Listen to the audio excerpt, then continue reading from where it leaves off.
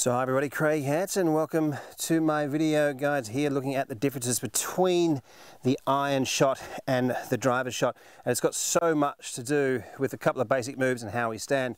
The angle of attack is influenced here greatly. We're going to stop fat shots, thin shots, get some more compression on the ball, hit the driver a bit higher, get the launch angle a bit higher, a little less spin on it for everybody to hit the ball a little bit further. Right, let's get into it. Guys, have a look at the address position here. We got what we're going to do when we're looking at force plates and mats and the things where we measure top professionals.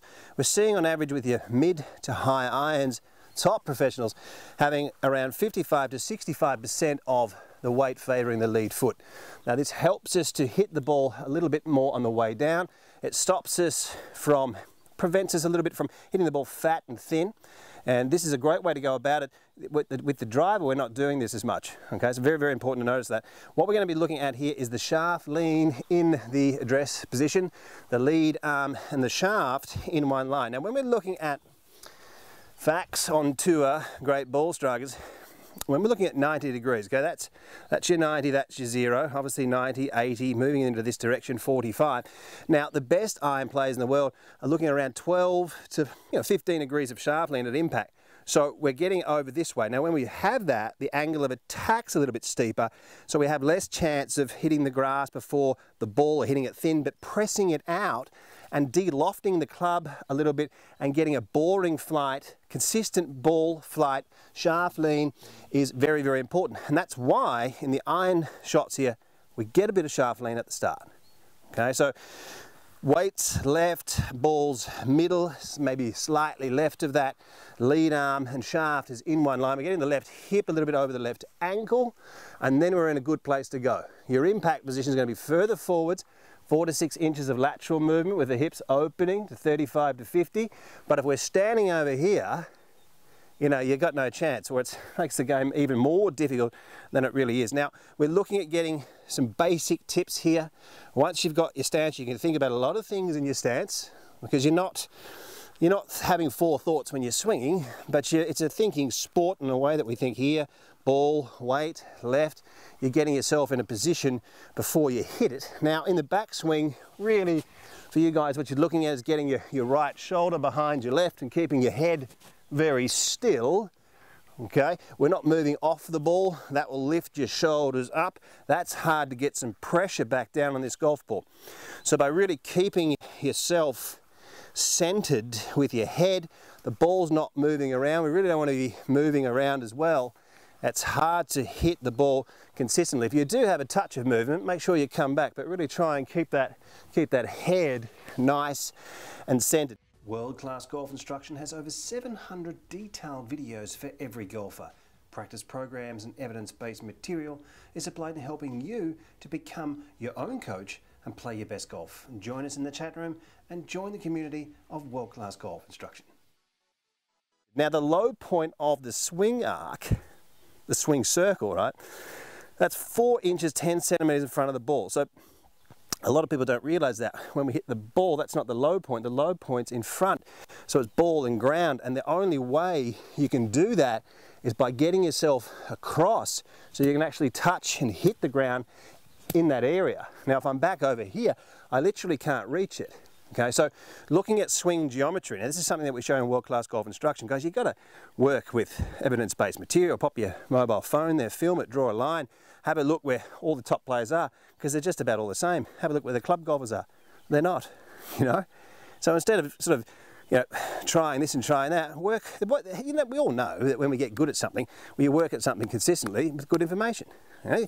Proven biomechanic information, uh, slow motion clips, top plays, and that's what we're showing you how to use your phones, how to use an app and get in there and really work on things yourself. Become your own coach and all the information in one place there, 700 videos. So weights, left, head still, shaft and left arm in one line. Keep, keep the head still. Oh, I got some good contact on that one. Right, and that's how we'll be looking at keeping your head still and a few basic tips there for your iron shots. Now looking at the driver, it's a different animal. You with me? Now this is the one, this is the important one. We all want to drive it a long way, don't we, and hit it nice and high. Now, what we're trying to do here, the iron shot it's only a slither, it's only a little bit. We're hitting it around four degrees on the way down. And this one, we're trying to hit it a little bit more on the way up, or at least level. Okay, so we're not trying to hit this one on the way down. When we hit the ball higher and on the way up, okay, we have less spin. Okay, so we have high launch, low spin, less resistance in the air. That's why it goes further. Okay, that's why McIlroy's hitting at three or four degrees on the way up. Now, if you've got two players, right, just hang in there, two players, and both are hitting at 100 miles per hour, and one's hitting five degrees on the way down, one's hitting five degrees on the way up, there's a 30 yard difference. So isn't that amazing? If you're playing with one of your friends out there and you want to hit it further than him, try some of this stuff and I'm going to show you how to set yourself up, where to pop your right foot back. Just bear with me and this will get, uh, you know, the ball to launch higher with a little bit less spin. So obviously we're not leaning everything now over this way. We want to load up. The best drivers of the golf ball over the years have been people that have had wide, long swings. We're loading up onto this right leg, wider stances. We want a wide stance because we get a little bit wider, we have a longer flat spot here down the bottom. If we get narrow, we get a bit a bit like a V shape. So nice and wide, as wide as you can with your drivers. And here we go. We'll have a look at this. The ball, we're going to be playing it up towards the left heel. Now some of you guys might have it inside that a little bit. You have to experiment around a little bit with that. You know, there's a, we all have different low points here. Even some people pop it right up off the toe here. But what we're going to be looking at is not as much shaft lean wider stance, okay? Now from here you're getting the end of the shaft at your belly button or just slightly left of it, okay? You won't be leaning the shaft as much really great drivers of the golf ball not having much shaft lean, somewhere between zero to three degrees. You do see some exceptions to the rule, but generally speaking, not much shaft lean at all there. Now, when we're getting ourselves with the ball left, what we're trying to do in a golf swing, we're trying to go around on its natural swing arc, down to a low point and back up and around. Now if we've got that right and the club face is in a good position, you know, we're in a pretty good place. But when we start to hit it on the way up, obviously the club starts to go a little bit around. Okay, so to counterbalance that, what we do is we drop the right foot back a touch. Now Ben Hogan mentioned this back in the day, driving the right foot back with the longer clubs, balls forwards. Okay, now we're going to try and swing back, load up onto this right side. And when we swing through the ball, I want you guys to try and get a bit of an arch in your back if your body can still do it.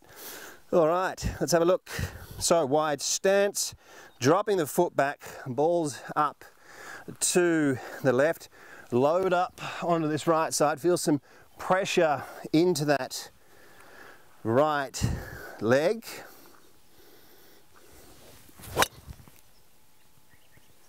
And left the tee, it's about as good as I've got, left the tee in the ground which also demonstrates that the ball's been hit on the way up nice and high. Felt good that one. So guys, there's a couple of thoughts and feels, the subtle variation between the iron and the driver. Check out worldclassgolf.com, the uh, community room, the chat room. It's a lot of fun writing and talking to each other about the game of golf.